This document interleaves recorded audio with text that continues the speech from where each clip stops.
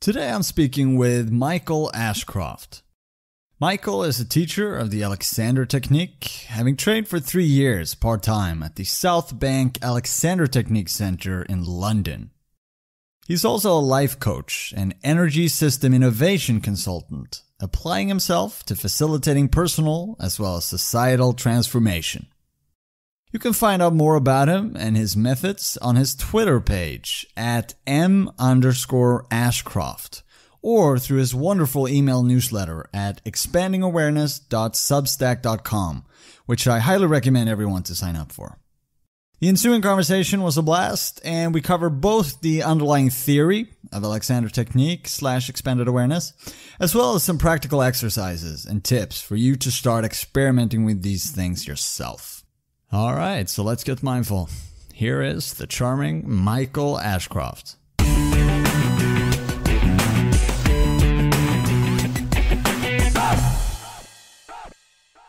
All right, I'm here with Michael Ashcroft. Michael, welcome to the podcast. Thank you for having me. Well, it's my pleasure. So, yeah, so it's it's not every day that I have the pleasure of a fellow ketogenic dieter on the podcast. so, uh, I thought for the benefit of no one, I could ask you what you had for breakfast today and we could compare. So this morning, my, my breakfast was lunch actually, uh, and I had some Nice. lettuce, avocado, and some egg. That's straightforward and nice. I like that. So uh, I, I, I'm going to preface mine by saying that um, what I choose to inhale uh, these days is purely medically driven. So kids, don't try this at home. But I had unspiced chicken liver uh, on a bed of mixed lettuce, 100 grams of tallow, which is the fat from beef, and Wow. more salt than any sane person would eat in a week. So it was um, it was something. Tallow. How Yeah. do you how do you prepare that? Is it just like you drink it? Do you cook it in some way? What's the deal there? So it's basically like you have a pound, like you have a pound of butter. It's kind of the same consistency, and then I just I just melt it straight in the frying pan, and then I just pour it on the lettuce. So the lettuce is basically like a uh, uh, a vehicle for me to get enough fat and enough calories in. Uh, but uh, it's kind of a struggle at this point. I mean, I'm impressed. Honestly, that's that's the next level keto right there. Yeah, so so I thought that we could start with uh, maybe you just giving us a little background, so who you are and what it is you do, and and we can take it from there.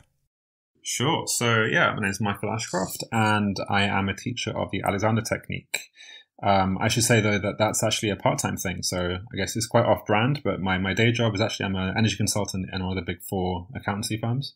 Um, so, I, I advise energy system clients on the energy transition by day. And then in the evening and weekends, I am a Twitterer and AT teacher um, and whatever else uh, feels like coming up. That's really cool. So you're you're kind of like uh, Superman, Clark Kent at, at daytime and Superman at night. I'll, I'll take that. Sure. Why not?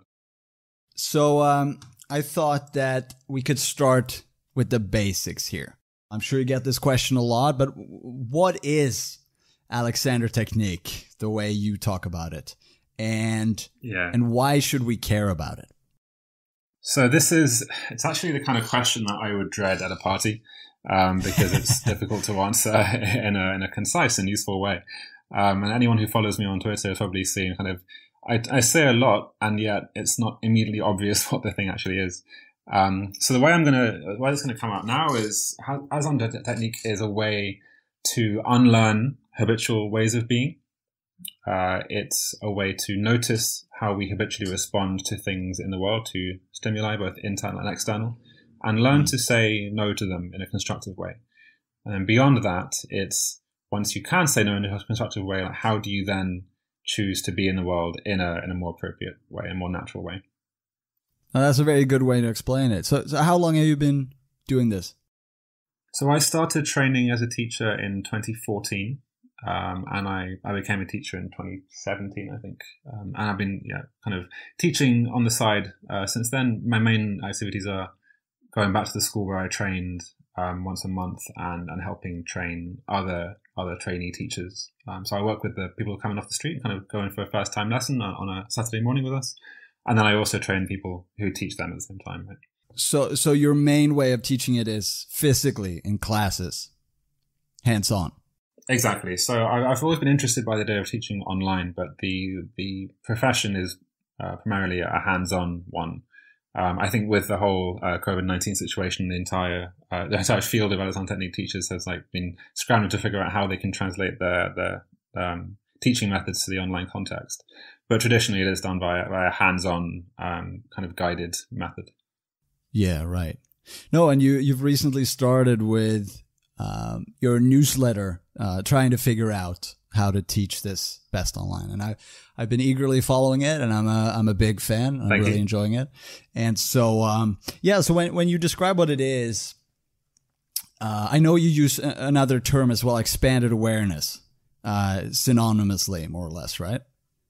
That's right. Yeah. Yeah.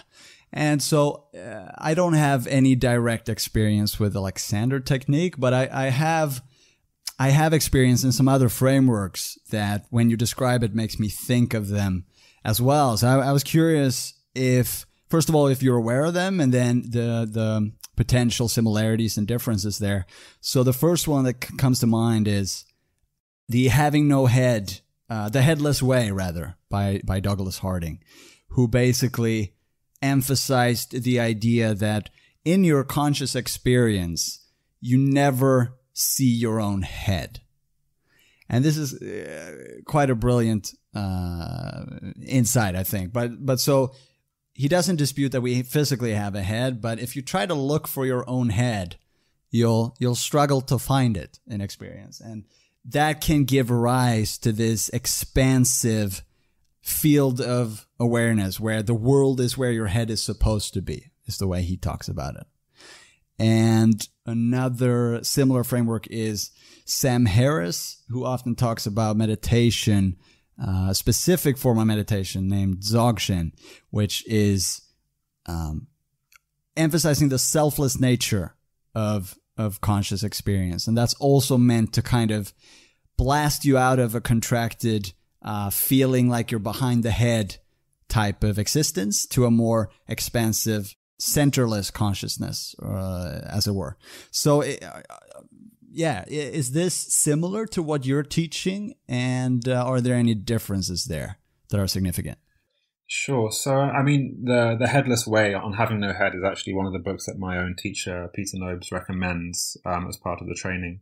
And when when we when I've I've read it myself, and when I do the exercise of looking back at my own awareness um, from the perspective of the finger, then I, I, get a kind of I get the similar kind of experience that I'd experienced the Alexander technique, through the expanded awareness that I'm talking about.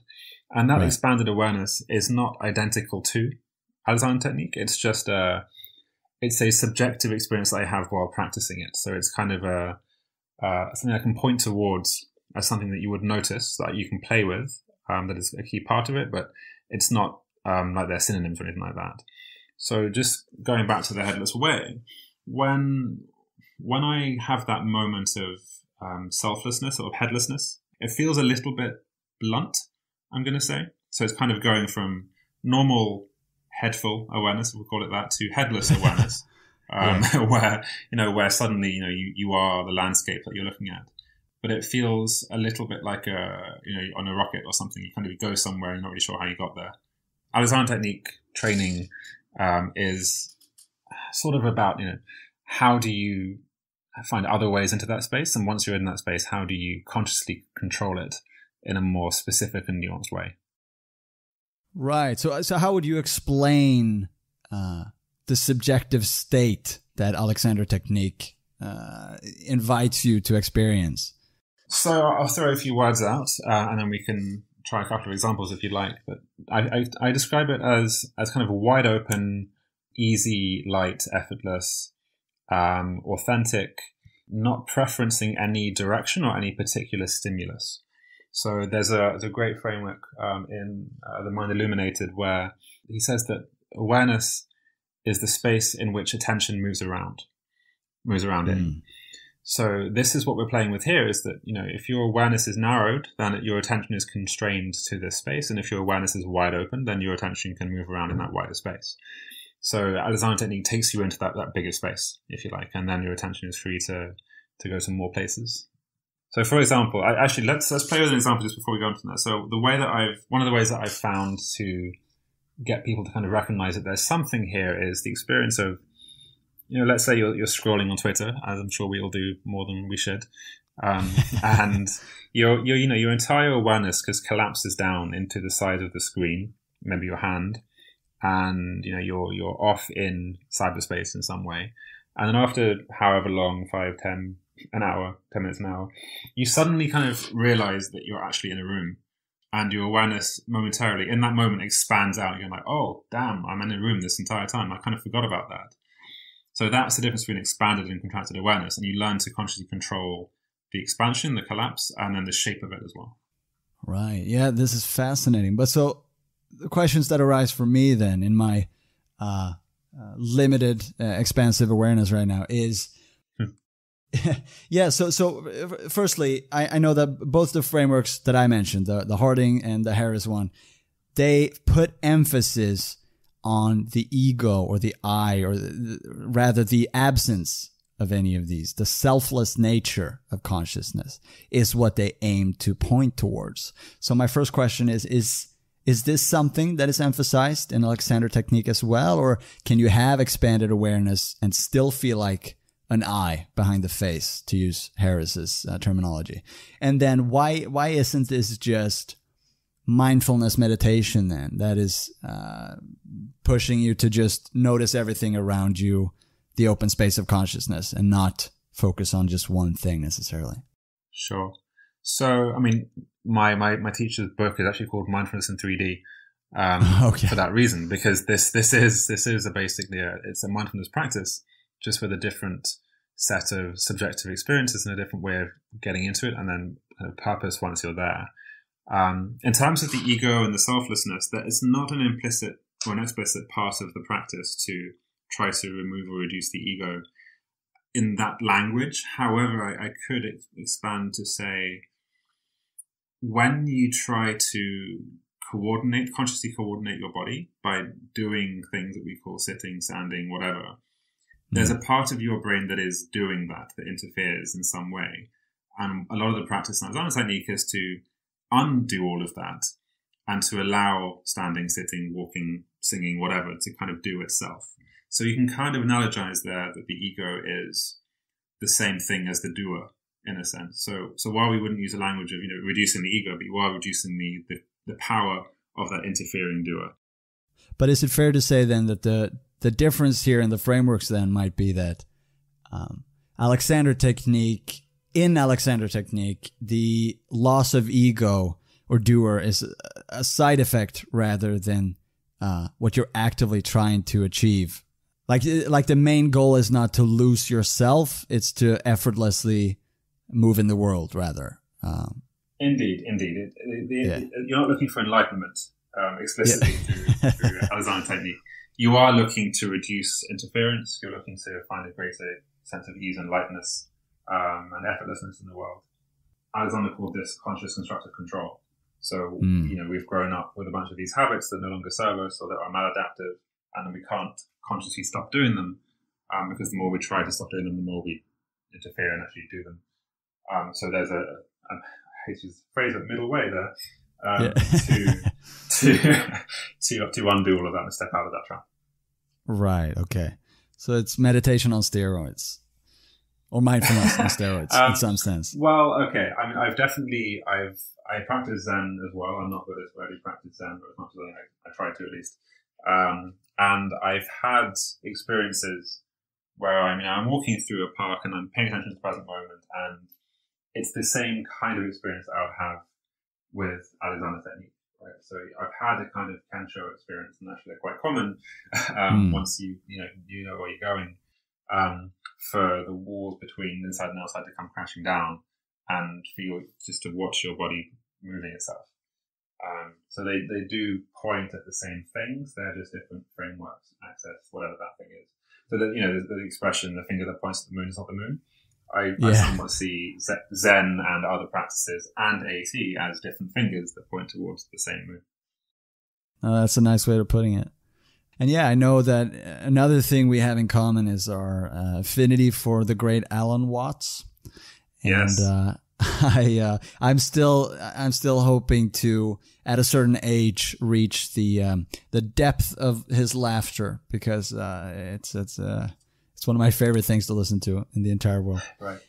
So yeah, I I know that he spoke about he also spoke a lot about the uh, the ego and how to uh, abolish the ego. And I know his theory was something along the lines of the feeling of self uh, is just a feeling of contraction, muscular tension around the chest and in the face, basically, that we accumulate when. Uh, when we're kids, and the I think he uses the example when the teacher yells, "Yeah, listen up" or "Focus." Uh, you kind of you kind of tense your body and and you for your brow, and it doesn't help your your uh, uh, ability to perform the task at all, but but that's what you think you're supposed to do. You're supposed to try. You're supposed to force something. And so I wanted to ask you. Uh, I I think I've seen you use uh, the term non-doing in this context. Uh, at least I've seen other people speak about uh, Wu Wei, which is a Taoist translation of that. But but I know Alan uh, spoke about that term. Uh, he said non-forcing instead, and I've been thinking about the term non-doing, and I feel like it is perhaps unnecessarily ambiguous and confusing because, at least in my head, it feels like yeah, you, you're you're promoting some kind of uh, stasis or just laying down, being lazy, rather than uh, getting out of your own way so you can do more effortlessly. So I, I was thinking how you think about that term and maybe if non-forcing or even non-trying could be more uh, more accurate. Yeah, this is a, this is an interesting one, and I, I have kind of defaulted to using the term non-doing because that's the most common translation of Wu.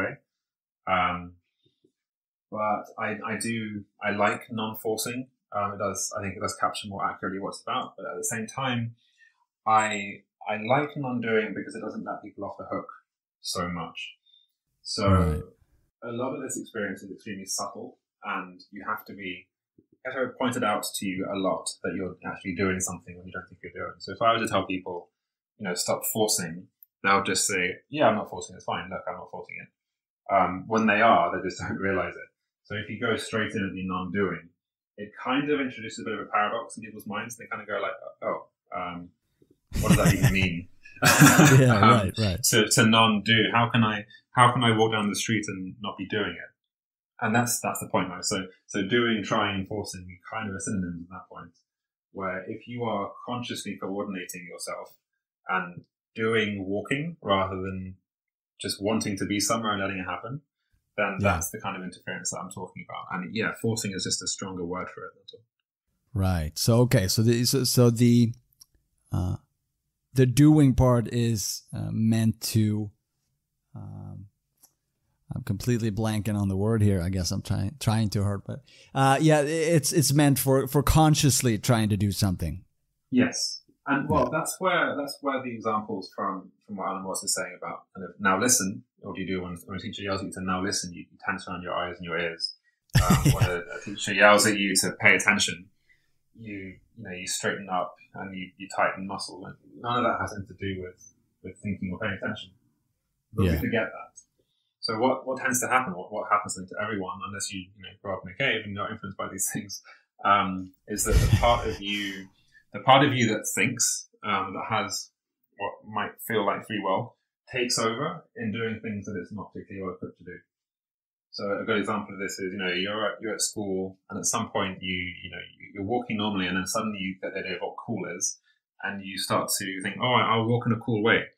right? Or I'll, I'll, I'll put on these affectations and I kind of, exactly right, exactly. You start kind of, oh, I've been told I should have good posture and I've noticed that my shoulders are down. So, okay, I'll, I'll try and do what everyone else does and kind of pull myself up. And at that point, you're done for because yeah, any yeah. amount of pushing yourself up and down, whatever, is is not what you had in the first place.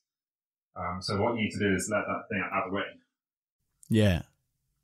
No, that I mean it's a counterintuitive concept, and I remember uh, I got a lot of memories now when you were talking about this. About, um, for instance, I, I, remember I used to skateboard when I was younger, and uh, I used to skateboard to our grocery store, and every time there were cool kids hanging outside the grocery store, and I I, I would have to um, perform a trick. I would have to uh, tell myself that oh, you need to really succeed this time. So I was all in my head, and I was really trying to uh, control the situation, and it never worked, of course. And then every Right. time where nobody's uh, was watching at all, and you were just having a f- fun time, and you didn't think about it, then it worked.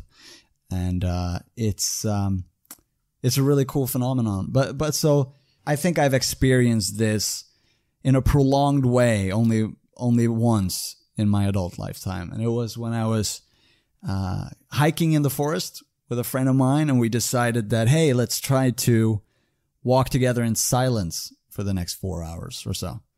And the initial 30 minutes are kind of awkward and the chatter is going on in the head and it's, uh, oh, we should be talking. Is he thinking this is weird? And, but then eventually that kind of died out. And I remember just effortlessly moving through the forest and we were climbing trees and hiking up mountains. And it was just, I, I didn't feel like I was controlling any of that. And yet my body did that perfectly well.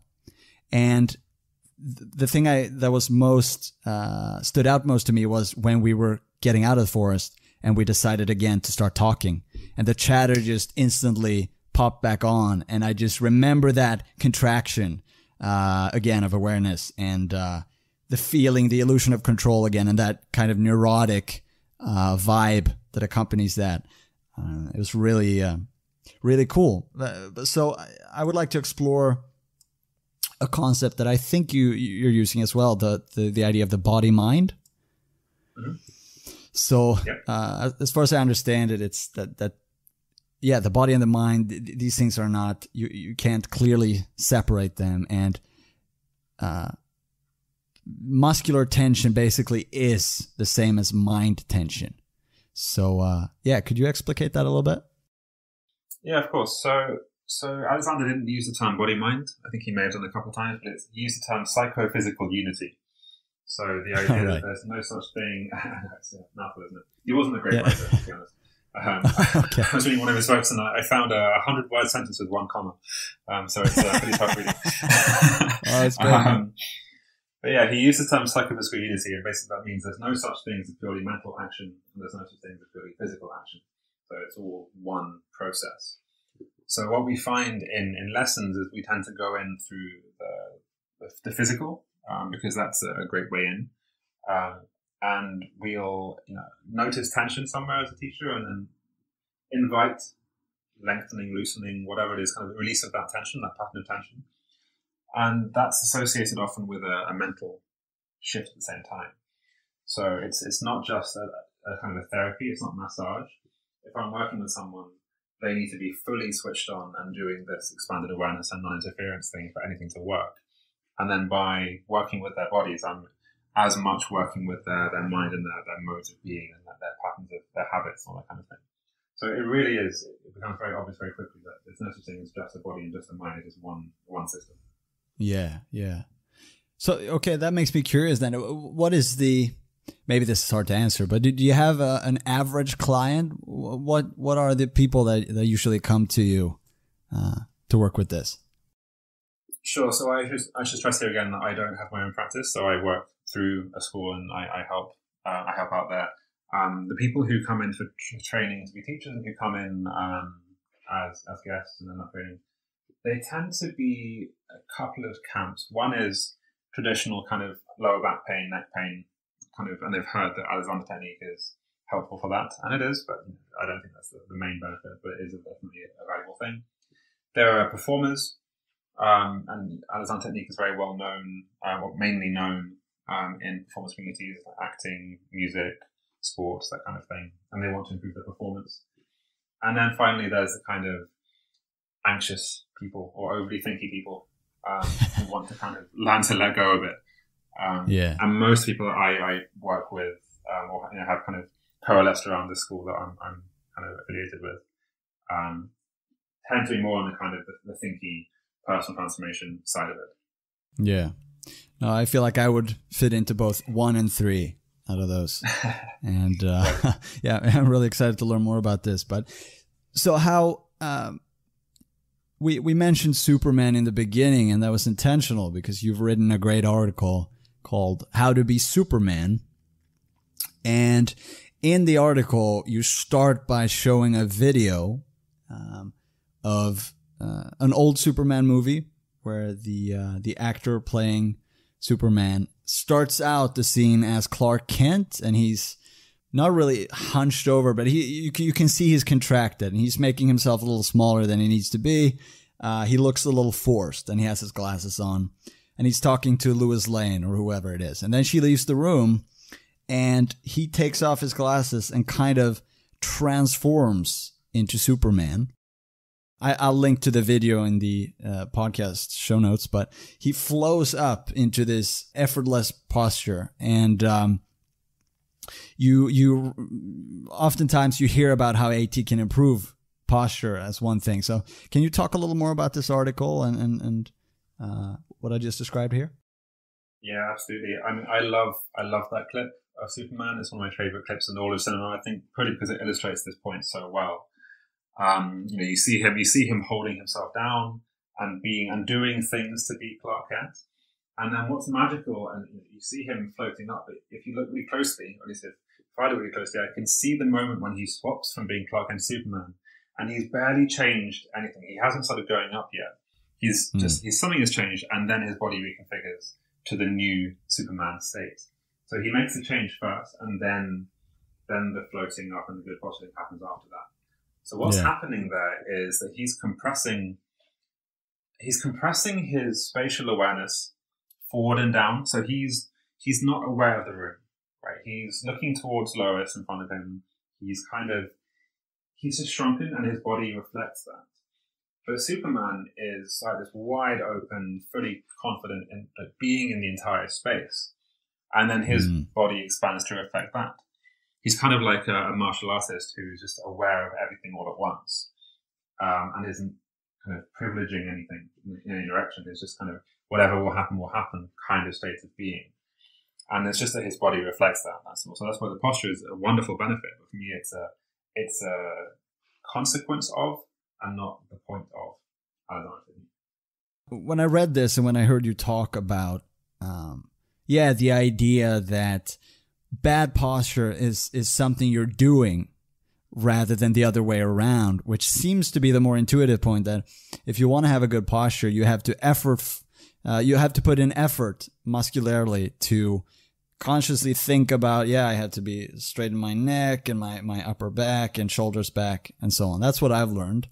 And since I've struggled a lot with neck and, and back pain and stuff like that, I'm very, very conscious of what I presume to be my good posture.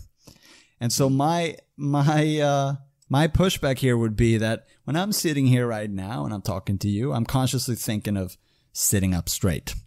And I feel like if I actually relax right now, I look like the hunchback from Notre Dame when I relax. and uh, yeah, so can you can you uh, uh, exercise my doubts here?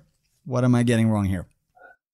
So what's happening there is that you're conflating relaxing with effortlessness.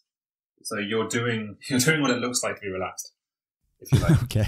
Um, so, I mean, what I would say here is that you don't know what good posture is. Like your conscious thinking mind doesn't know where your shoulders, head, back, hips, all that stuff should be. And that's why when we start trying to interfere, we kind of like, okay, if I just pull my shoulders up, if I just push this back, you know, it, it gets very silly very quickly and just leads to more pain. Um, and your, your collapsing there is the kind of thing that I would tell someone off for nicely in a lesson. I don't, you kind of checked out. That's actually a diminishing of consciousness. If you, if you pay attention to that, you'll notice that when you relax in the way that you're describing, your, your spatial awareness is more limited, it's more narrow and you're kind of switching off the natural functioning of your system. And that's why when you go into the expanded state and then allow your body to, to do what it needs to do, then you'll find an easier route into that, that more natural poise. Now, one of the issues here is that in a lesson, I might, um, we, I normally work, mostly just work by kind of working hands on, on the head first. There's a relationship between the, the skull and the spine. That if you right. make a small adjustment there, the rest of the system turns on, so to speak. But even then, if I've, you know, if the spine, if the spine and the head are in the right relationship, you might still find that, that someone's pushing their pelvis forwards because the, the habits are quite strong. and then you'd you kind of interrupt that pattern and, and slowly show someone all the things that they're, they're doing that they could stop doing. So even if you were to expand your awareness in that what I would call a collapsed or relaxed state, it doesn't necessarily mean that your system will fix itself because you have a lot of habits of years, you know, lots of years worth of stuff to undo. So that's why I work yeah. with a teacher or kind of having someone pointing out you're still doing this and you're still doing that, you know, don't do that kind of approach um, is is very helpful. So you're kind of like a physiotherapist slash um, meditation guru in one. Uh, I, mm, I'm closer to meditation. I, am struggling with the physiotherapy angle of it, only yeah, because okay. it's it's not about building any particular muscles or strengthening this versus that. It's about seeing that okay, what you're doing right now is you are holding tension in this muscle, and you don't know how to stop it. You don't even know that you're doing it. You don't know how to stop it, and I'm going to show you how to stop it. And the only way you're going to stop it is by not trying to. And that's where people kind of go, huh, okay, there's something else here. And that opens up interesting avenues for exploration. Hmm. Well, okay, I get I get very curious now when you say that you adjust the head and the spine there, hands on. But is there any um have you figured out any way to allude to this adjustment only through words, like through this medium? Is there something we can try? Yeah, so it, it's funny actually. The, the, experience of doing it in lessons and these under awareness thing has been interesting to, to highlight that in an in-person lesson you'd use your hands because it's the, the most direct and accessible way of doing it, and then the awareness right. thing follows. What I've been doing online is starting with the awareness and then allowing for the body to follow.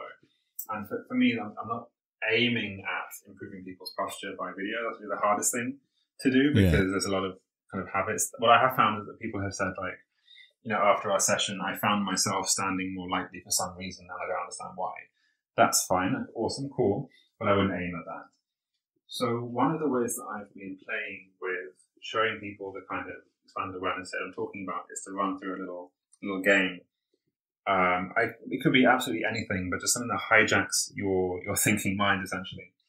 Um, and the one I usually use is a variation of don't think of an elephant, basically, mm-hmm. which is by asking someone, in a minute, I'm going to ask you to identify an object you can pick up. And then I pause and I ask the person, are you already looking for an object you can pick up? Is part of your brain already off looking for something? Even though I said in a minute, right? You're not even there yet. and yeah. part of your brain is just like off, gone, looking and in that moment, you might realize that your awareness of the room and the space around you went away a little bit. Right. So that's a way of showing that this expanded awareness thing exists. And then what I would teach is, or okay, how do you how do you stop that? So let's say you know you don't want to think of an object, you want to actively stop. So I'll run it with you, and, and anyone can play along at home. So this time I want you to actively try not to pick an object. Right. Do whatever you need to do to try not to pick an object. So we'll go again. In a minute, I'm going to ask you to identify an object that you can pick up. I'll pause for effect. so what, what happened? What did you experience? Uh, well, first of all, I'm, I'm, I have so much hay fever today that I'm, my mind is kind of blank anyway. But I was just staring at a word in my in my notes here, and uh, mm-hmm. trying to just zone out on that word, basically. So yeah, and that's another common response. So when your attention is hijacked and you don't think of an elephant, one way that you commonly do it is to literally think of anything else and kind of yeah. over focus on something to push away this thought. Right. And yeah, that, that works at a surface level, but you're still your experience is still defined by the thing you're trying not to do. In a sense, right? You're still you're not in control of yourself, you're still kind of fighting in a way. Mm. So, what I would suggest instead is to, first of all, notice non judgmentally, and that's crucial, that your awareness has been hijacked a little bit. So, you're, you're, you're collapsed in on the idea of looking for an object or thinking an elephant. And then, rather than either engaging with that thought or fighting it, so neither engage nor fight, instead choose to just become aware of the space around you instead And a couple of ways into that might be, you know, imagine that there's an aircraft miles above your head. Just check in that you could hear it if it were possible to hear it. And even even that idea of like there's something above you that you might be able to hear if you listen for it is enough to switch on even a small sense of that expanded awareness thing and give you a little bit of room to breathe in your awareness, so to speak. Yeah. So if you want, we can we can wait one more time, and if your behavior permits it to work. Um, so this time, just just just notice what I described that this this doing process kicks in, and then mm-hmm. instead of engaging, just you know become aware of the fact you're in a room. You can hear sounds. There's textures, colors, whatever around you that you can also be aware of all at once. So you're not moving from kind of spotlight to spotlight, but it's all a kind of wide open, unfiltered experience. Right. Yeah, I got so it. last time, last time, in a minute, I'm going to ask you to identify an object you can pick up.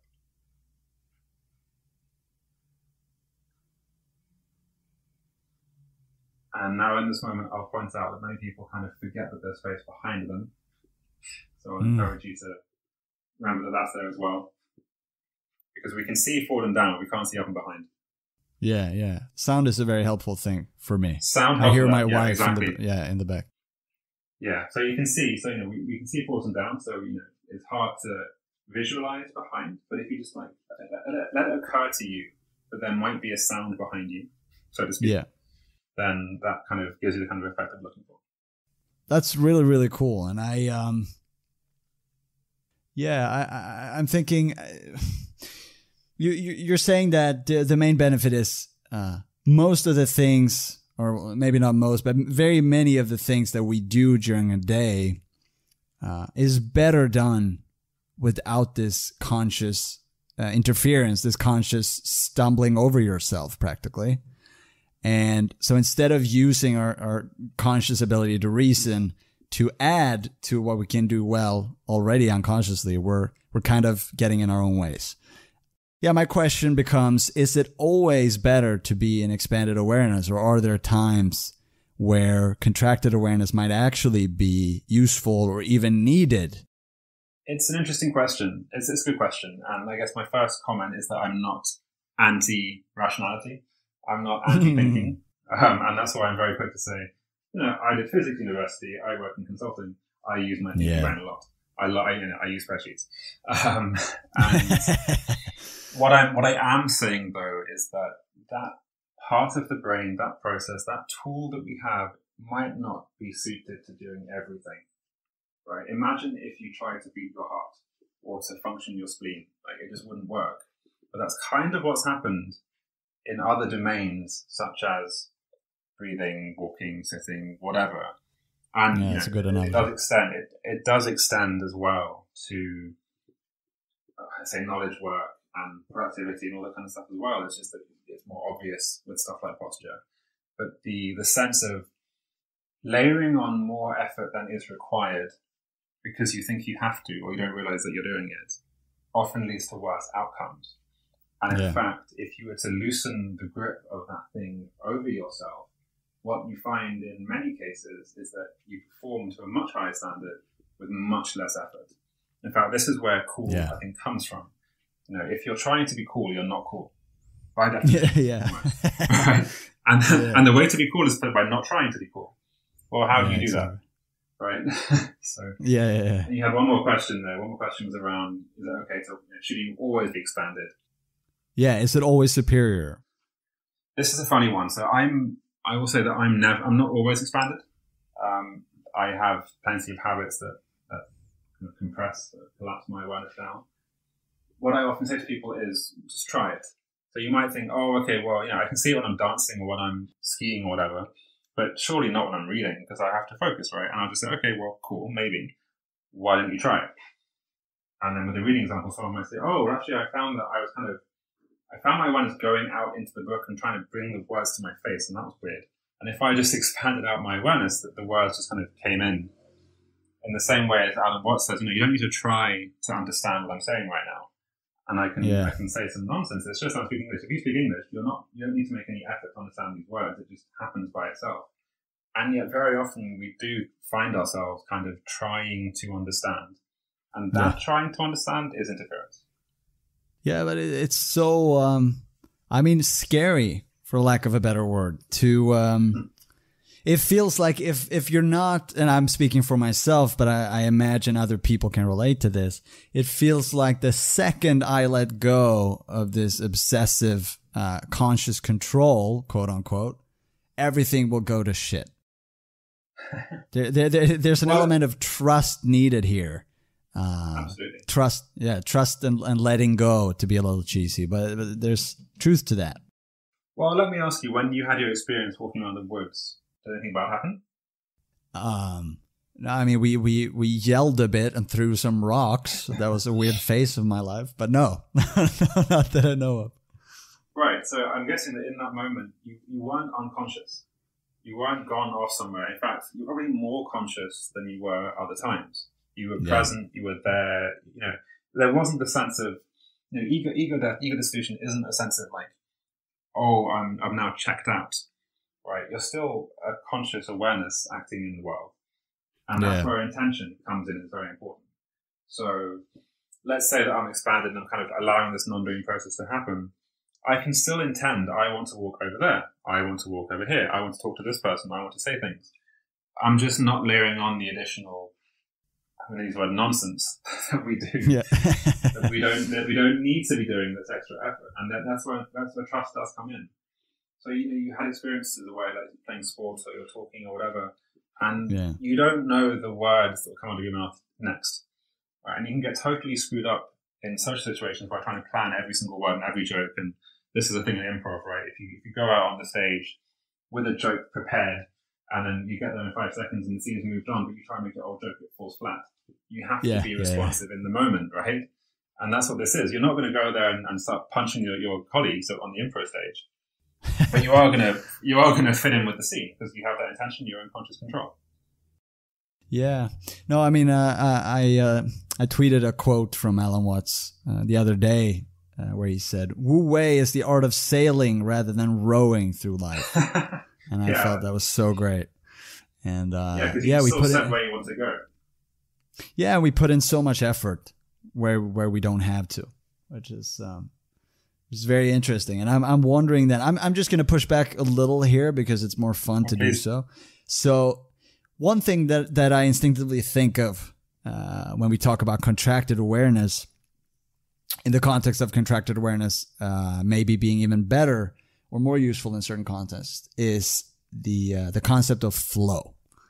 Mm-hmm. And so, when I'm the the times I can remember uh, where I've been in flow are times where I'm, maybe I'm lost in a conversation with someone, uh, someone interesting like yourself, and I'm just really into the ideas and the words, and all of a sudden three hours have gone by, and and somebody interrupts us, and I all of a sudden I feel like oh shit, I need to pee so bad, I'm gonna explode, and I I'm so hungry, and oh my phone has been buzzing for two hours, and I I feel like there's something inherently nice in that and so uh, I'm curious then if you're if you're saying that that could have been uh, experienced uh, ex- in, a, in, yeah some sort of expanded flow instead where I wouldn't lose anything that I gained from that but I would gain something additional. Yeah, what's your thought on that? Yeah, so I know what you mean. Um, yeah. partic- particularly in knowledge work where you know, we go off into our computers for hours and do the coding thing or whatever it is. Um, yeah, yeah. Do the writing thing. That does tend to come with it a sense of kind of zoning out and pushing the world away. And then you, you, know, you find yourself punched over And many times. You know, you, you kind of, that's when you notice after six hours that your back hurts, right? Yeah. Um, and, you know, perhaps there was a part of you that kind of checked out and wasn't, wasn't looking after your body at the same time. Um, and I would say people who, have that experience or who like that experience is that, okay, I'm not saying you can't have that. What I am saying is that perhaps this, this expanded awareness thing might be a different axis to flow versus not flow. So I'm, I'm imagining a two by two because, you know, consultant. Um, you can have you know, expanded flow, um, which I would say would be like a, a football player on the field, right? You've got team members all over the place uh, you've got the ball, you've got your position. You know, you're, you're definitely that, that, person is in flow, right? They're, they're definitely into it. Yeah. um, and yeah, their expand their, their is wide open. Or like the martial artists I mentioned earlier, who you know my teacher uses knowledge all the time. Um, they might have opponents on on all four sides or three sides, but they don't know which one will attack first. And if they prepare, if they get ready in any direction, the other one behind that one, the other side will, will punch them. So they have to just kind of sit there in an available state, um, Yeah. wide open and, and, and spontaneous. But at the same time, I can say again, you know, they're definitely in flow, right? They're, they're fully focused on not getting killed or beaten up. Um, yeah. so uh, those two examples might might highlight that you can have expanded flow. And for the other end, for the kind of the, for the narrow flow or for the, the coding style, for people who are kind of curious about this, I would say, well, just have a go, right? So you, you can expand. You just be. I'm not saying that you have to listen out for other sounds in the room or be distracted by your colleagues talking, but just kind of having a module in your brain that reminds you there's space behind you Mhm. is and above you is enough in many cases kind of let go of that grip of the doer. So let me back up there. So the flow state that many of us feel in the coding style is is in many ways a forcing. It's kind of like a like a "Ugh, you must code faster. Like it's it's not always you kind of absorb, but it's not always pleasant. Yeah, it's tiring. Um, so you finish it and you're like you're exhausted and you hurt. So you can I- play with expanding out of it. Yeah. Sorry to interrupt you, but I, I would actually Yeah, push back on that because I think the um, the definition of the term is that it is effortless and that it is enjoyable inherently, and that Mhm. I, at least, when I'm, uh, for instance, uh, let's say playing a video game or or something else like that, I always feel energized by the end of it.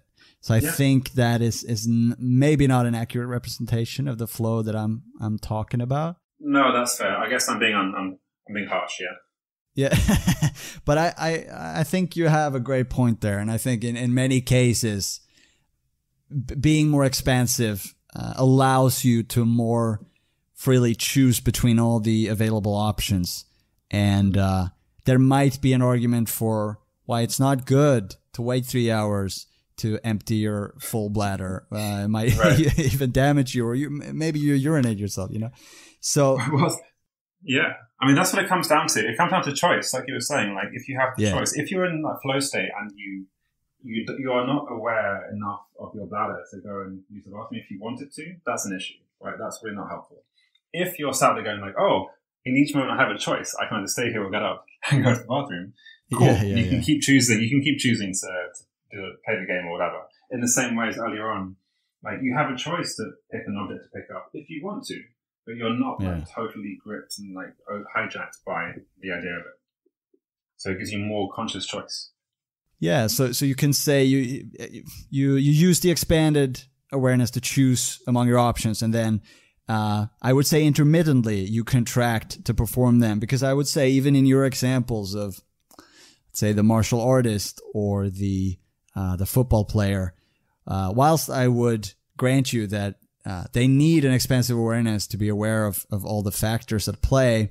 I would say that at certain points in the game uh, for football, you have to to be able to uh, to perform uh, maybe a, a very difficult uh, maneuver to get past a single player.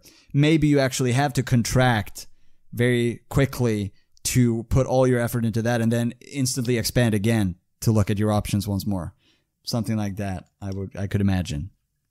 Yes, and I, I should be clear here that I'm given the the dominance of of the doing and collapsed mindset, shall we say, that I'm I'm probably unfairly picking on the collapsed awareness just to kind of make the point. but what what this is really about is not being expanded all the time. It's about Yeah. having the, the conscious control around whether you are collapsed or narrow, shall we say, with a fairer, a nicer word than, than collapsed, a narrowed awareness or a wide awareness. So the trick is, okay, notice you might want to be like open most of the time, or like expand most of the time, but you, you, it's not ideal to be hijacked by whatever happens, whether it's the impulse to sit down or someone throwing a ball at you. You want to be able to say, no, for this situation, I want to stay like expanded, and I want to be able, be able to have that, that power over myself, rather than letting myself be pushed around by the by circumstances. Essentially. No, that makes sense. All right, folks, time for the fun stuff. If you enjoy my podcast and you want to support it, you can now become a monthly Patreon supporter at patreon.com slash doexplain. Or if you'd rather make a one-time donation, you can visit ko-fi.com slash doexplain instead. That is ko-fi.com slash doexplain. Perhaps ask yourself, what would Jesus do? And surely Jesus would donate to uh, Do Explain. Another way to make the podcast grow and improve is to tell people you know who you think would enjoy it to check it out. Because with more support and exposure, I'll be able to improve the podcast continually and produce more content, which is something that I would love to do. Lastly, thank you so much to all of you who've donated so far. It truly means the world to me, and I want to extend my gratitude. Back to enjoying the show it's it's interesting because uh, I'm not uh, sure how aware you are of uh, the epistemological theme that runs through this podcast, but the uh, the, the this ties very nicely into the principles of non-coercion that we espouse within uh, the Popperian epistemology, where um, yeah, you can't grant authority to any one idea, whether it's a conscious idea in words or in explicit ideas like feelings or sensations. And uh, you need to take them all into account. They're all guesswork and they all have something to convey. And uh, it sounds like this goes perfectly hand in hand with this and might even be the uh, the way to describe this the subjective exper- experience of actually being non-coercive in the way you make choices in your life. So I uh, I really like that. That's cool. That, that, very similar, and I think I'm my, one of my next steps will be to explore that um, that way of thinking that you're talking about, which I'm not so familiar with. Um, so, any recommendations for where to start? Please let me know. Um, Absolutely. But just in a kind of in a kind of like lesson context, um, one of the ways that we might point out to someone who's just standing there and they're kind of you can see that they're narrow, you can see that they're kind of hold themselves and they're not really in the world, they're, they're kind of checked out in a way. Um, it's just by saying, you know, check that you can go anywhere. Because if your awareness is constrained to the space in front of you, you can only step into the space in front of you. Like the, anything outside of that is outside of your, your conscious choice. But by yeah. checking that you can go anywhere, oh yeah, I can go to that other room, I can go behind me, I can dance, I can whatever. It opens up a much wider possibility space. And you're not hooked by any individual option. Instead, all options are there and you can kind of play in that space. Hmm. Yeah, definitely. So, uh, a question that arose now was the idea that because uh, we were talking about in, in posture terms, or, or habits in general, we learn all these bad habits that we then have to unlearn. So, at this moment, when you ask me to notice the space behind me or the space above me, or preferably both, I feel like I have to do that I feel like I have to consciously work on that because it goes against what I'm used to doing.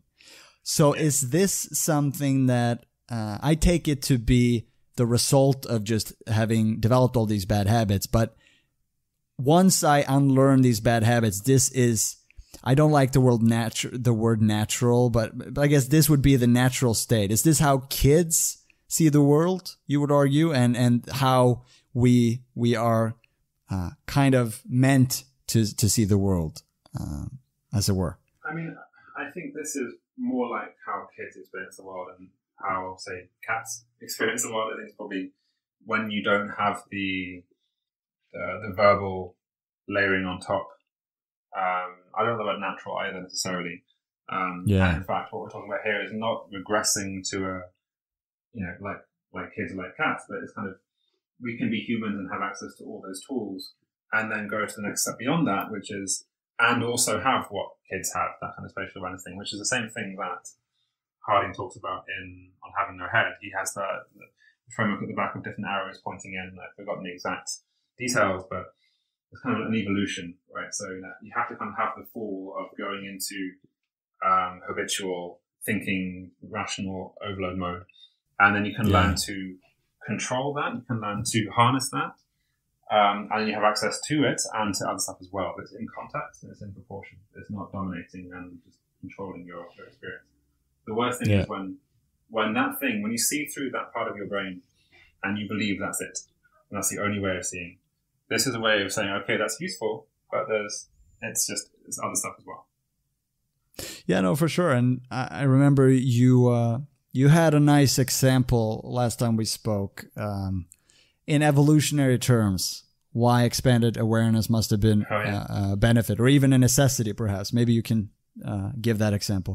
Yeah, for sure. So this is an example that my, my teacher uses all the time, which I think is very helpful. Um, and I know very little, unfortunately, about early man, but let's assume, for the sake of argument, that there was a, there was a savannah involved, um, and in this place that there were threats in the forms of scorpions and eagles um, overhead. Now, at any moment, you could be attacked by, you could be like harmed by either a scorpion or an eagle, but you don't, you don't see any right now. But if you go off looking up for eagles and cut out the ground, if you like, from your awareness, you're susceptible to being stung by a scorpion, and vice versa. If you just look at the ground and ignore the sky, you'll miss the eagle coming down swooping at you. So what the same as that Happens to me all the um, time. exactly. You never know an eagle might strike in.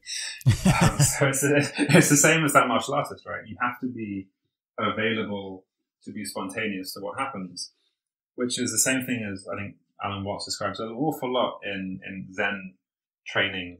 At any moment, the, the master might jump out with a stick and hit you. Yeah. Learn over time. You can't get you can't get ready for it. If you get ready for it, he'll still catch you out. The only way for you to, be, to to miss that stick is for you to just be fully spontaneous in the moment, and that's what this is about. Yeah, I love that.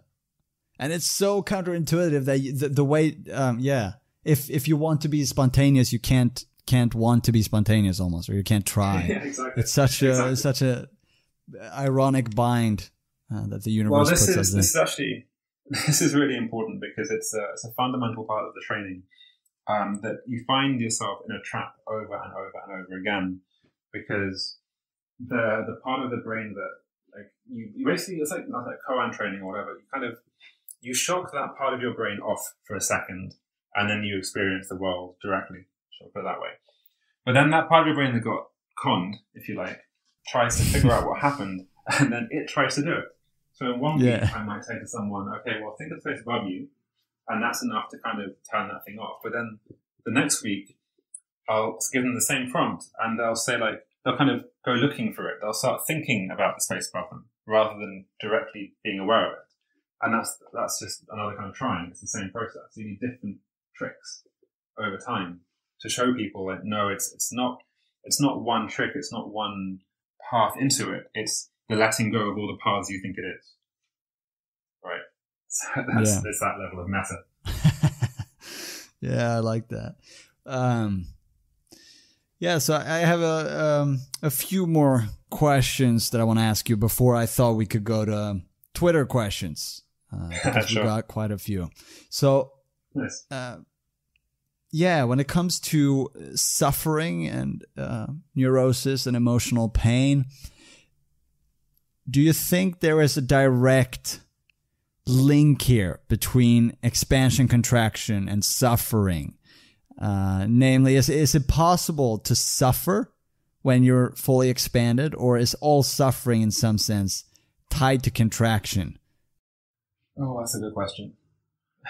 um, so one one thing I would say is that suffering or pain definitely causes contraction, and I, I, I did a video on this a while ago. I think my first one of chronic pain is something that causes your attention, your awareness to collapse onto the pain. So your entire world is the pain, if you like.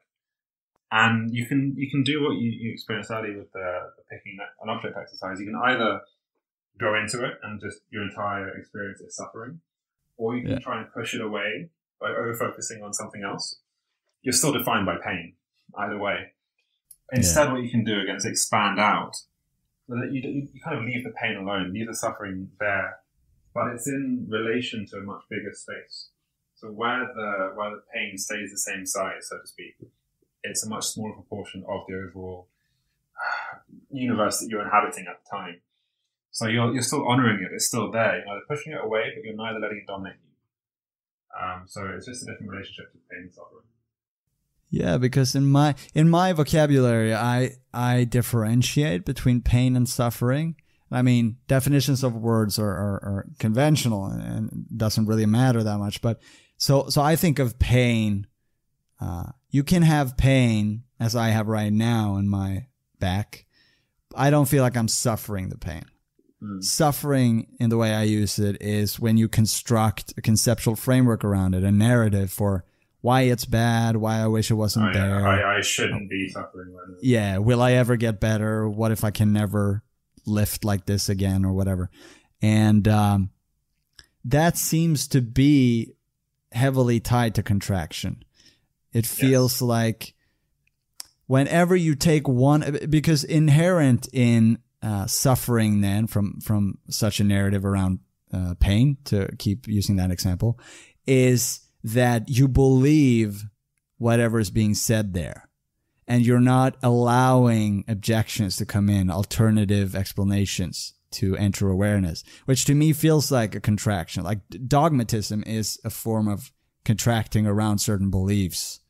Yeah. um, and uh, but this is something I think is very very interesting, and I think that ties nicely into contraction in the physical sense that we mentioned before, the body mind principles. I feel like it all comes together in a very nice way here.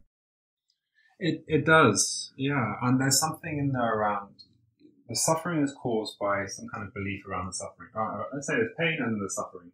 And suffering is I shouldn't be feeling pain. I, it's not fair. Blah blah blah. Right? And you kind of you stay there. Now, yeah. which what part of you is it that's saying, or any kind of judgment? I shouldn't. I, I don't like this. All of that stuff. Let's get kind of the Buddhist view here as well. It's the same part of your your mind that does things that I was talking about earlier.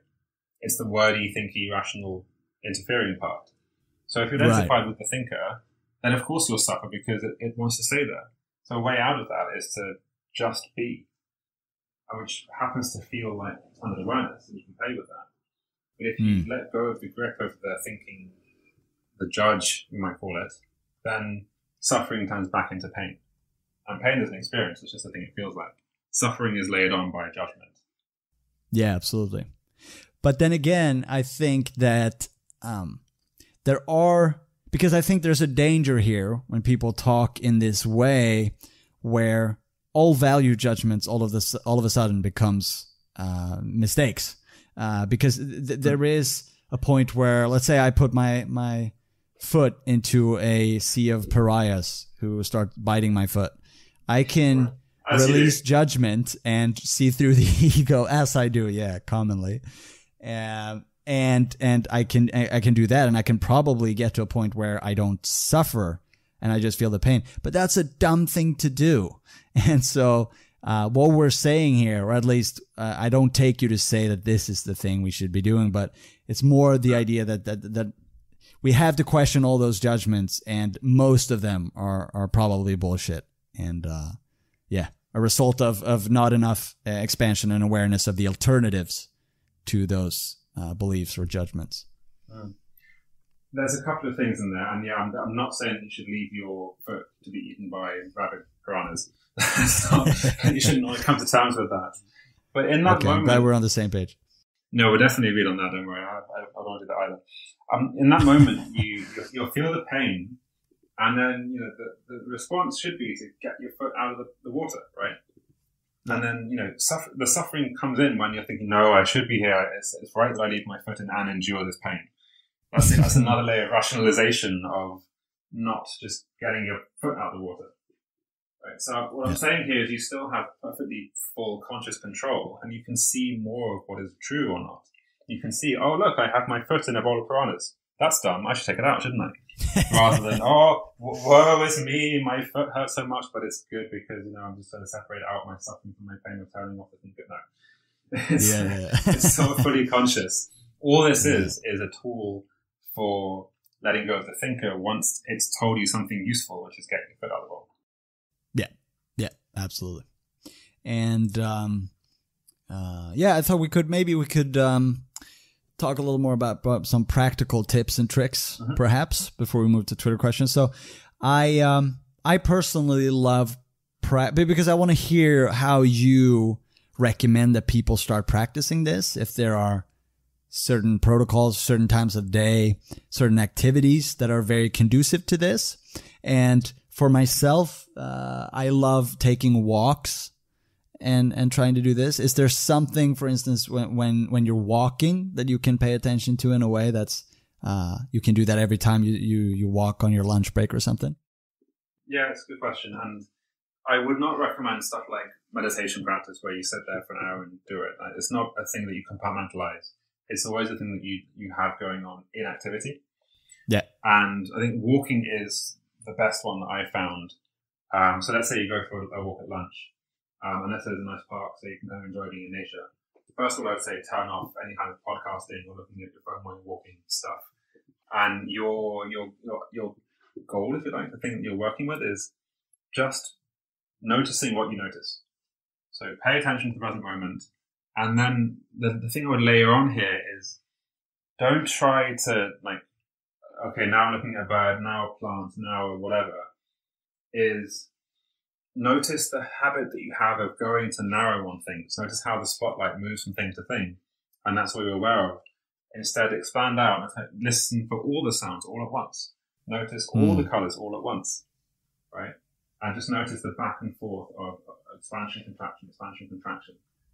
And if you notice a contraction, just choose, okay, well, I'm, I'm over focused on this plant now. Let's listen for that bird again at the same time. And I can still look at the bird. I can still look at the, the plant in front of me while also hearing that bird behind me. So it's that kind of both and, if I use, may use the phrase, both yeah. and thing rather than either or um, attention thing.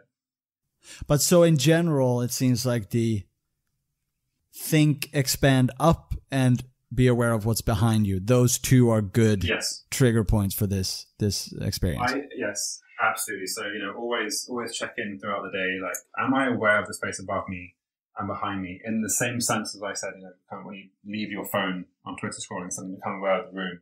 It's not thinking about the space around you. It's suddenly just like suddenly, bang, there it is right? That's the experience we're looking for. But it's so easy to fall into the trap of thinking about the space and think.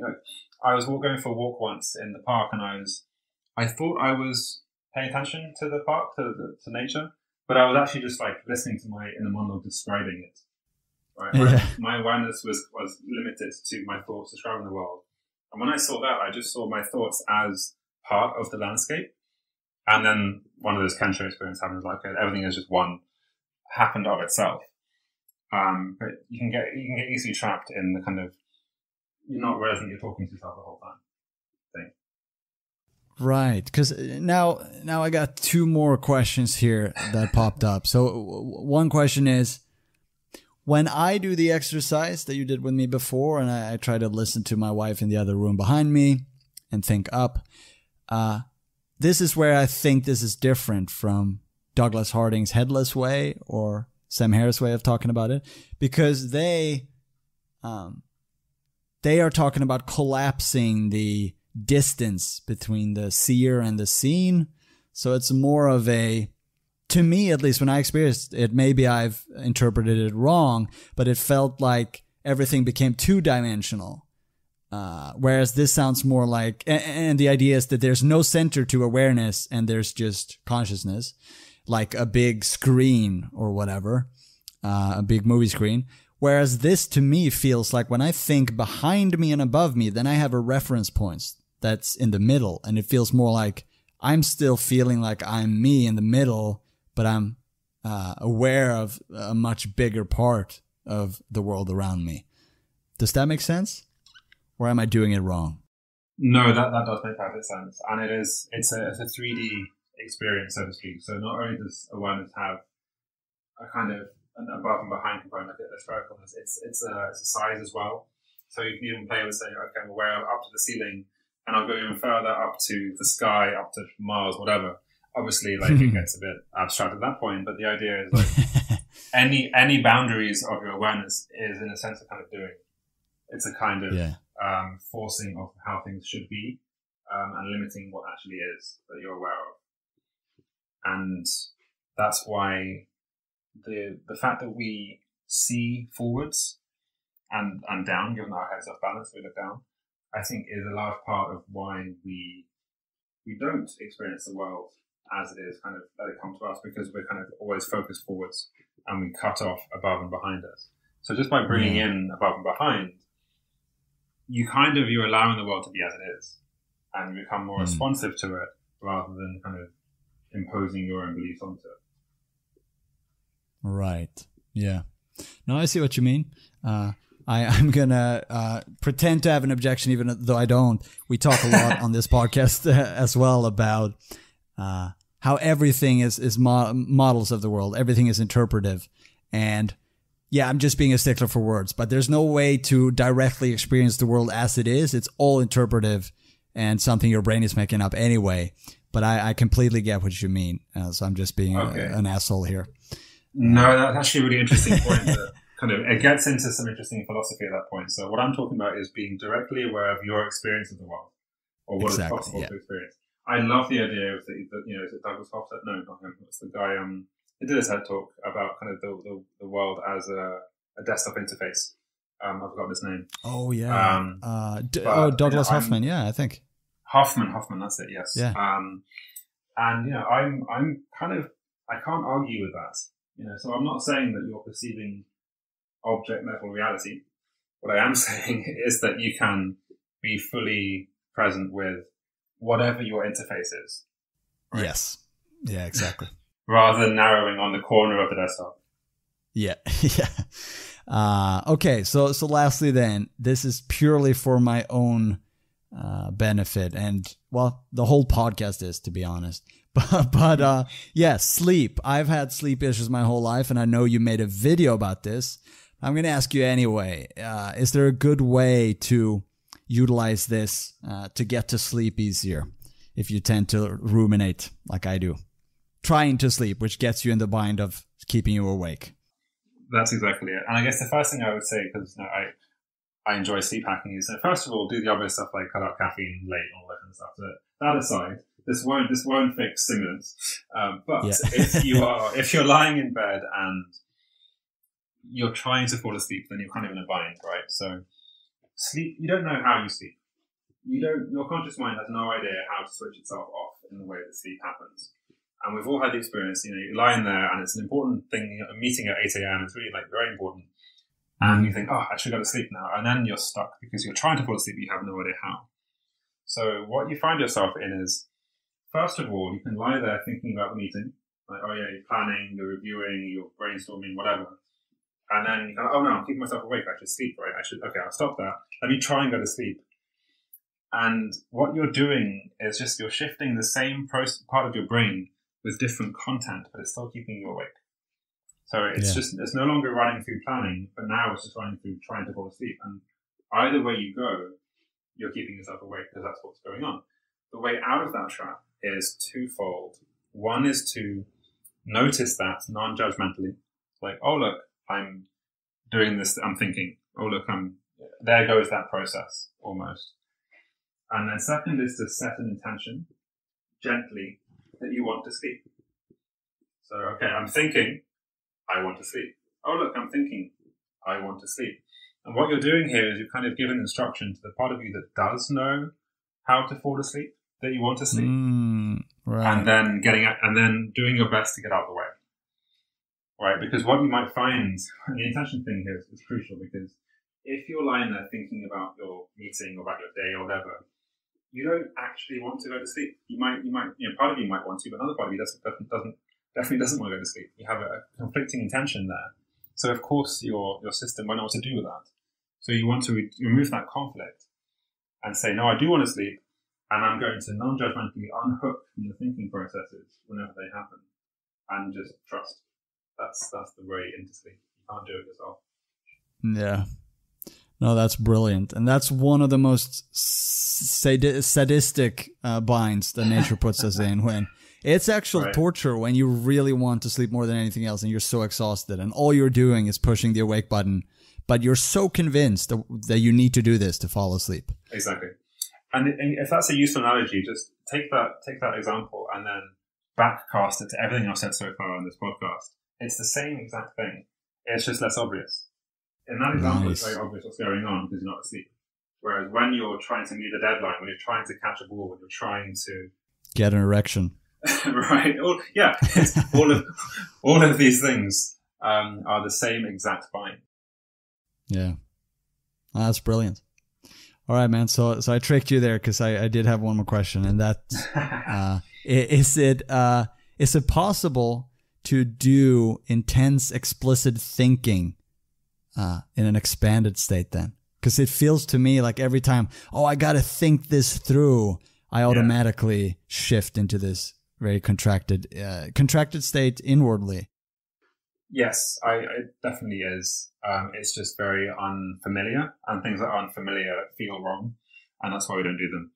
So when when you're with someone, and you know, let's just say that you had zero facial cues that you were thinking, you know, the other person will get a bit confused with whether that is like kind of completely blank, which is why the whole signaling benefit of looking like you're thinking comes from. But when you're on your own, there's no value of that.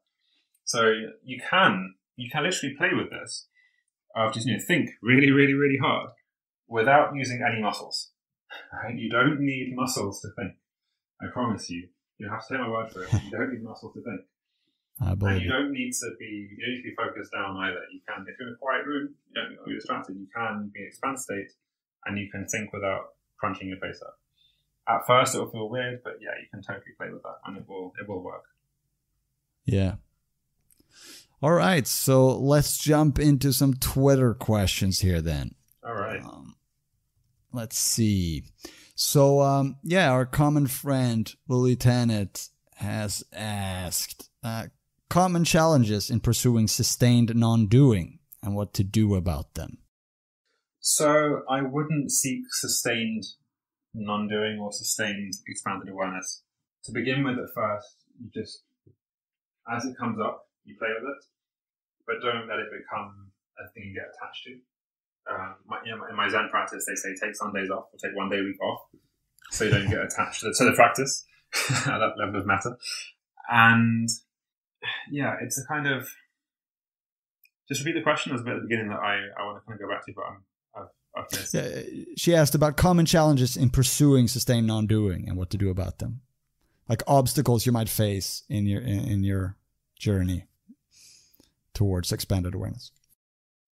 Yes, so the main thing I guess to answer there is, and this comes from my own teacher again, um, he says that the present moment only lasts for three seconds. So it's not something that you can like expand and be in the world and then keep. You can't cling to it. You have to keep renewing it. It's a constant choosing. Right. So there's a sense of like, there it is. There it is. There it is. Hmm kind of kind of process going on where you, you rehook to the world, rehook to the world, re-expand, re-expand. And it's it's that moment of choosing that is what we're talking about here. So it's not that you're you wake up in the morning, you do meditation, like, oh, I'm undoing now, that's it, I'm, I'm done for the day. I just carry on undoing. I'll carry on being expanded or being being mindful. For me now, it's almost like there's a module in my brain that is doing that scanning for that kind of pinging the world like, there it is, there it is it kind of gets quieter and, and, and, and louder as, as I need to. But like my baseline awareness has gone up because of this. But to begin with, you might need prompts um, in in life, you know, on your phone saying, "Hey, space behind you," or on your monitor, or when you go for a walk, or, or these things just to remind you that in this moment you you'll play with this concept. Yeah, but it sounds a little uh, contradictory in the sense that, yeah, it's if it's supposed to be uh, a result of stop stopping doing things that you shouldn't be doing. I feel like once you you you really realize that it's not helping you to do that, let's say for sleep, for instance, then you should effortlessly stop doing that, and then the expansion should happen by itself. No, I think if only it were that simple. Um, we have very very strong very strong habits. So you know you'll you'll have this moment once, and then immediately your habit will kick back in very quickly, actually, the the story of how Alexander himself like discovered this whole thing is relevant here. You know, he was a, a an actor, and he found that whenever he was on stage giving performance, he would kind of go into a performance mode. He would do performing, he would do speaking, and at the same time, he would kind of compress his his head backwards and down, which gave him voice trouble. And you know, he he noticed this in mirrors and thought, okay, I'll just stop doing that then, fine. But he couldn't stop it. He couldn't stop the, the habitual response because it was so ingrained. And the technique was how to slowly unlearn how to kind of bring conscious control to the not doing that reaction. So it's just yeah. you, you, have decades worth of, of programming to undo. You can't do it just in one flash of insight. Yeah, no, that's fair enough. Okay, so we have uh, someone named Claudia Gonella uh, who says, When you stop doing the wrong things, the right thing does itself.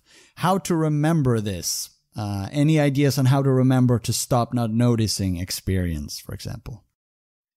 So I wouldn't say to stop noticing experience. Um, that seems like the opposite of what we're looking for. Um, yeah.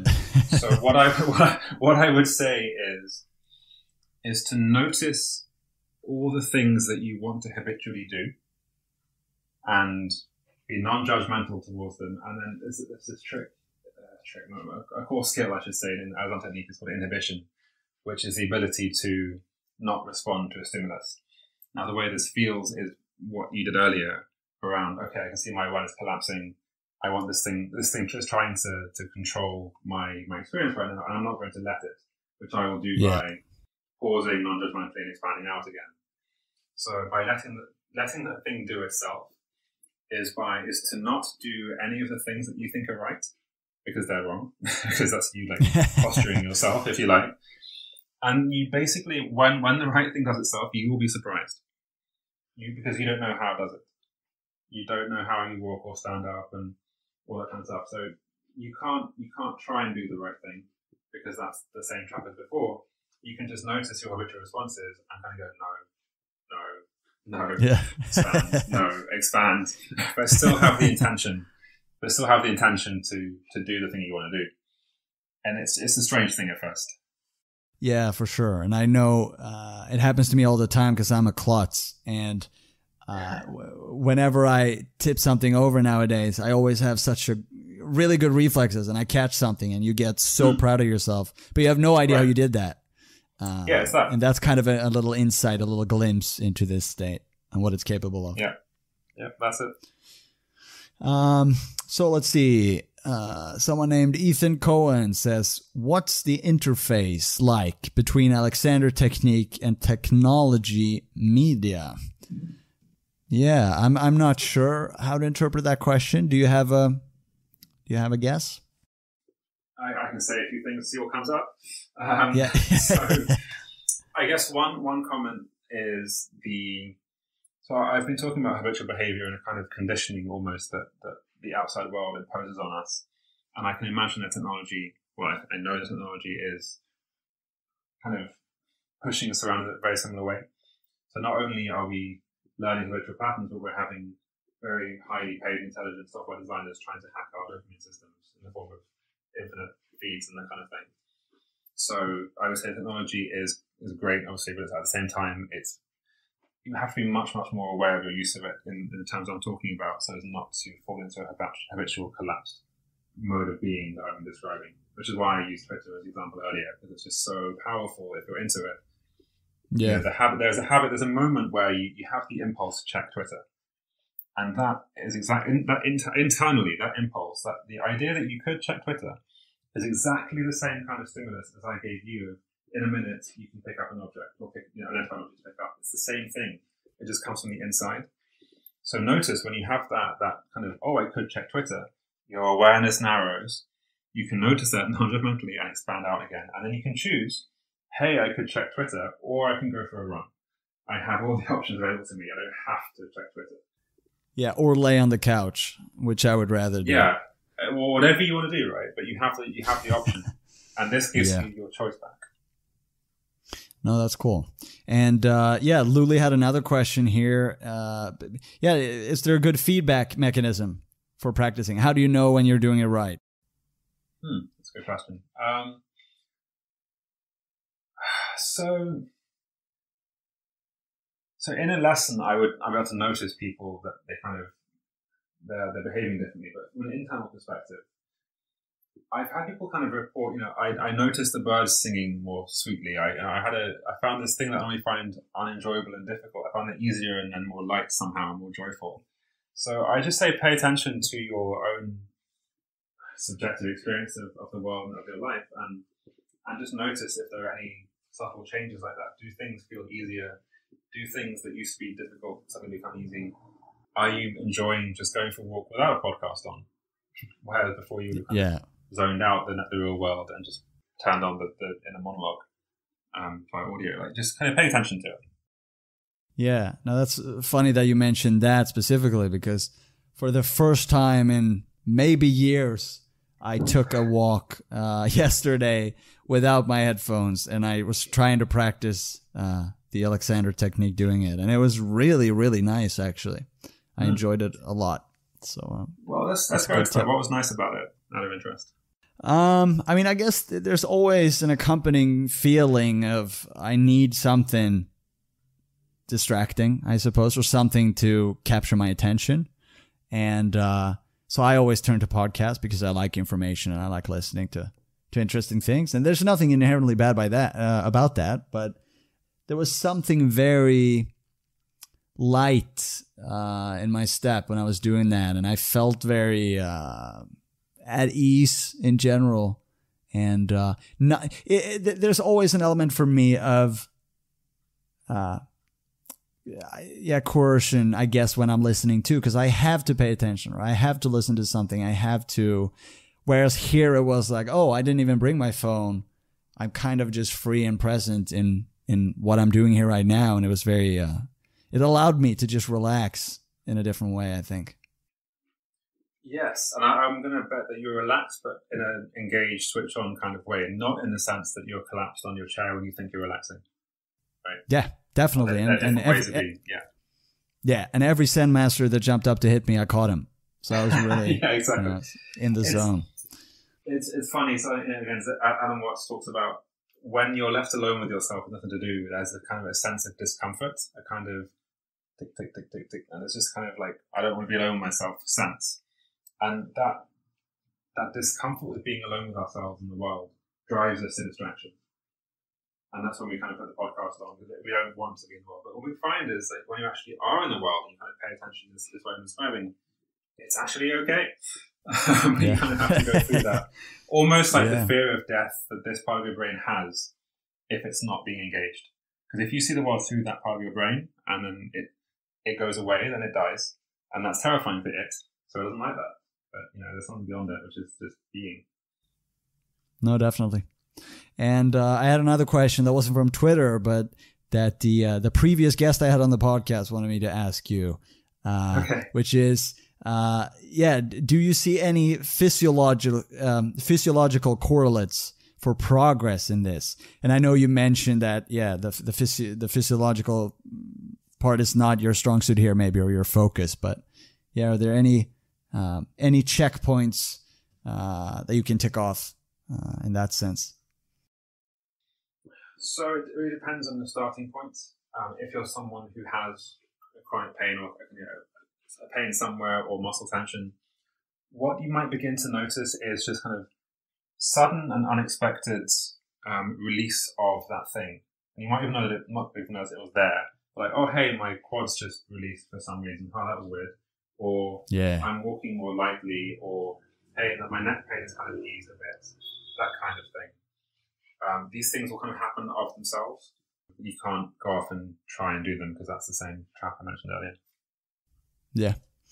Um, okay, so lastly, we have two more questions from uh, from my dear friend, the Hermes of Reason, and uh, he has uh, attached his questions to tweets of yours, specifically here. oh, no. So maybe so so maybe I should actually read your tweet first. So so first, uh, you have a tweet where you says where you say this is exactly what I'm getting at. Yes, caring can be seen in some cases as a synonym for forcing. You can often achieve so much more to a higher quality and with more enjoyment by loosening your grip on yourself. And his questions is um, curious to know more of your thoughts on caring and how it can apply to relationships. So I, I, I, kind of I kind of see caring as the manifestation of the, the doing enforcing thing I was talking about earlier, except to kind of lay lay it on with a kind of um, virtue that we think we have. So you know, if you don't try hard, then you're not worthy. Kind of societal messaging, um, no pain, no gain, kind of kind of language, and caring is caring is what happens in the difference between you've got a deadline and it's a week away and it's fine and you're working at a relaxed and efficient pace. And then, you know, an hour later, your boss comes in and starts like putting pressure on you and something shifts at that point, which is you start caring, and your entire relationship with the thing you're doing changes. It becomes a kind of your body gets tense. You start kind of getting emotionally invested in a different kind of way, and all of that is what I'm talking about is caring. Or mm. you know when when you're playing sports and you have to you know hit the ball forward, you hit the ball, it's great, it's fantastic, relaxed, and then you know they throw it again, but this time you want to impress people, you do it again the second time. You start caring about hitting the ball as well the second time, and you start involving yourself. That's what I'm talking about. It's that extra layer of conscious lack of trust? I might almost say over right before before you trusted. Now you care because you don't trust, and you, you have to kind of interfere. So that's what I mean.